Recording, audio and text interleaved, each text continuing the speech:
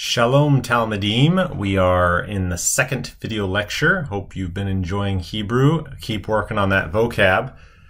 We are just going to pick up uh, and do the vocab for the add-ons that are right here. Uh, I promised we'd do that. Uh, we'll just go over the vocab and do a couple practice sentences for how this is supposed to work. And then the good news is that this next class is nothing new. It's just going to be review of everything that we've been doing. So it'll just really try to solidify it in our minds. So hopefully that'll work out well. So as we go through here, I'm going to zoom it up on the screen here a little bit. Uh, the first word on the new list, the add-on list that is outside, some of these words you've already had, but this first word here, if you read it, remember you're going right to left, top to bottom. So you have the SH sound with the sheen there. And then the Kametz here is a A class, so that's Sha. Sha, and then Lamed is L, so Sha, L. And then whenever you have the dot above, um, if it's by itself, it's an O class. If it's with the Vav, it's still an O class. They make the same sound. You don't pronounce the Vav. In this instance, it's always this is called a holom vav, so you pronounce the whole thing as a o. So shalom, and this is a final mem.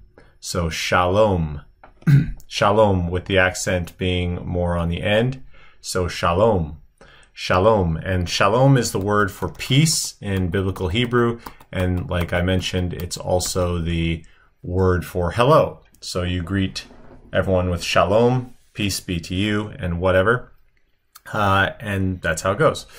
Second word on the list here is right to left, top to bottom. You have with the lamed, and then the only vowel, vowel here is the holum, the defective holum in the second slot there. So the aleph is silent, so it's pronounced lo, lo. And that's the word for no in Hebrew lo. It can come before verbs, and you'd translate it as not. He will not walk. Or it can stand alone just being a no. So if somebody says something in class that is incorrect, you could just say lo, lo. That's not that's not correct. No. Um, the alternative, which somebody asked last time uh, as well, what's what's yes? Well, it's this word, ken. Ken. This is a final noon. So ken is the word, and that means yes. It can also mean truly, and there's also the, a word that's spelled identical to it, which means thus or so as an adverb. So, you know, we'll talk more about the second usage later, but can is how you'd say yes. And then uh, I figured it would also be useful to introduce how to say here or there in Hebrew. So this is the word for here in biblical Hebrew. Uh, with the dagesh in the pay, it makes a hard p sound, a p, and then the defective holum hey makes a o sound. So po is the word for here. Po. I guess uh, isn't that the name of a Star Wars character? Poe. So you can just associate it with him. Poe should have been here. Poe should have been here, and we would we would have been fine. Um, and then the next word, as the opposite of here, would be again the sh sound, and then the a class. So sham, sham, sham is the word for there. Sham, there. Uh, and then I have a couple words which you know, but just how to spell them. So this is how you spell more, more, which is teacher. More is teacher here. And then this is how you spell Talmudim. Talmidim. Talmidim. Right here, that's the plural, students. The im marks the plural. And then Talmid is how you would say just one student. Student. Talmid is a student. Talmidim is students. All right, and then so those those vocabulary words are, are handy to know. Um, I think you know most of those. The yes, there, and here, sham, po, ken. Those are all good. So this selection of words right here is requires a little more explanation and this will be our first introduction to how verbs work and we're it's not going to be too complicated um, but it, will make sense i think um, as we practice it um, it'll be helpful so typically i'm going to get rid of that now um, when you have a verb and it's used in the participle form. The participle form in Greek, don't worry if you don't know what a participle is. Um, we'll explain all that later, but I'm just for sake of clarity, the participle form is what they call the most unmarked form. In other words, it's the most basic uh, as far as nothing too much extra that goes on it. So the default form for a participle is this first column here, these two words. So you would pronounce both of these. Whoops, sorry. the first one here is yo shave. Yoshev. Yo shave. And that's the word to sit. To sit. So yoshev um, would be if I said ani yoshev. That means I'm sitting or I'm staying somewhere. Um, yo ani yoshev babait. I am sitting or staying in the house. Um, it can mean staying as well as sitting. Um, that's typically you have whenever you have a participle, you'll typically have the OA sound. So notice on the second one here, um, the holek, holek is the idea of walking or going somewhere.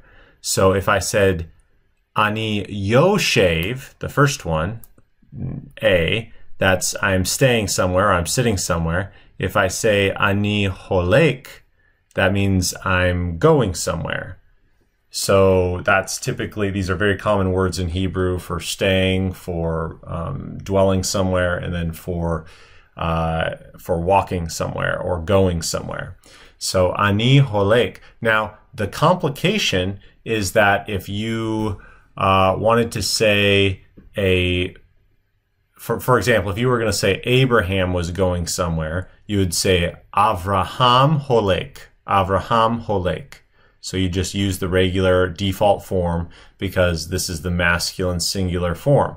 But if you wanted to say uh, Rivka or Tamar, if you wanted to say Rebecca or Tamar are going somewhere, you would actually use the second form. So the second column is what they call the feminine singular form. So, uh, also, I should say that if you were um, if you were referring to um, you as a as a female, if you were going to say at instead of ata, ata would be masculine. At as a pronoun would be feminine. So if you were going to say at yoshevet, then that would be you as a female are sitting and you would use this secondary female form.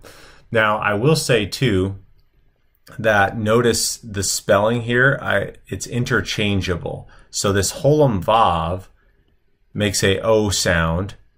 And on the first one, this defective holum makes a O sound. They can be spelled interchangeably. Um, so I put it like that so that you understand it can be spelled either way. The important thing is the sound um, O evet or O A. You have the O right away at the beginning of the word, which is telling you, oh, this is a participle. That's what's going on. Let's see, go get rid of all that stuff. Okay, um, so that's what's going on here. And then the, the last column here is what they call the masculine plural. So you'll notice that this is ho, ho lakim, or yoshavim, and you hear the im endings, and that communicates the plural idea. So, for example, if you were going to say um, a whole bunch of men were going to walk or go somewhere, you would say anashim holakim, anashim holakim. So we're really going to try to utilize these two sentences um, at, to describe things. Um, halak um, in the participle form, holek, um, ani holek uh, babait. I am going in the house or something like that. I'm walking in the house. Okay, so with that in mind, um, let's actually um, read a couple practice sentences here. So on the right column here, I have some practice sentences. So as we read through this, the first one on the top of the screen here, uh, you have reading right to left again. So you have av. Now you don't you don't pronounce this sheva because it's following a short a short uh, patak. So it's av, and then you have raham. And yes, you have put together that this um, Avraham is related to the word Av, which is father, and then Raham is the idea of multitude, so father of multitude or father of many. Avraham, that's what his name means. Avraham Holek Holek Babait. Babait. So Avraham Holek Babait. Avraham Holek Babait. What is it saying? It's saying Abraham is going or is walking Babait in the house. Babait. Remember the bait preposition here. You just stick on the beginning of a word. And it means in or sometimes by, but uh, or with, but usually in. now, if that's Avraham, and that he's a man, so it would be the masculine form. But what if you have the feminine form like Tamar? So Tamar, Tamar, Holecha, Holecha. In this instance, uh, it is a feminine form because it's Tamar. So Tamar being a feminine, Tamar ho Holaka. It's not holek anymore because it's feminine, so it's holaka, holaka, holek, holaka, and then the same uh, um, same spelling. I uh, have a patak under one and a kametz under one. Those are interchangeable for the article, so it's gonna be spelled either way at times, but it's pronounced the same way. So babait, babait. So Avraham holek babayit, masculine form. Abraham is walking in the house. And Tamar holaka babayit. Tamar is walking in the house. Now, if we wanted to use a plural form, the im ending. So anachnu, anachnu, that's we, anachnu yoshavim. Anachnu yoshavim. We are sitting. We are sitting. Or we sit, and then if you have another phrase there, uh, it could be in the house, babait, or uh, baretz, eitz, the uh, in in a tree or in trees. uh, you could have something like that, or basere in the field, basere in the field. Anachnu yoshavim. So remember, if you have a plural, or if it was atem here, atem, same thing. Atem yoshavim. Atem yoshavim. All right, so moving on, uh, we have anashim. Anashim, the word for men or people generically. So anashim holachim, holachim Men are going baderek. Baderek. Ba, derek, in the way or in the path. So men are walking in or on the path. You could translate it that way. Um, then the last sentence, I wanted to show you how eshet, eshet is used. So isha turns into eshet when it's when it's in construct, and in construct means that you just uh, it's connected to the next word and you put of in between. So instead of saying Isha Avraham, you say Eshet Avraham, Eshet Avraham, meaning the wife of Abraham. So Eshet Avraham Yoshevet Babait. So because it's feminine, you have to use the feminine form, which is Yoshevet. The accent is actually on the second syllable for this word, Yoshevet. So, Eshet Avraham Yoshevet Babait. So the wife of Abraham is sitting or staying in the house. Eshet Avraham Yoshevet Babait. So the big takeaway here, uh, if we go back to this Word document, is that typically when you have a default participle, you're just going to have whatever the letters are with a O class between the first and second and a A class between the second and third. So Shomer, Holek, Yoshev, Omer, like pretty much anything's going to follow this pattern with the OA pattern. And then for the feminine form, it's going to rotate between a Kametz He and a Segol Tav at the end. And you might say, well, how do I know which one it is? You just have to learn. You just have to learn each word and use it, get used to it. So that's why we're going to introduce the words that way and uh, be able to work that out. And then if it's ever in the in the plural masculine form, you're going to have im at the end like that. Uh, there is a feminine plural form, oat, and we'll talk about that later.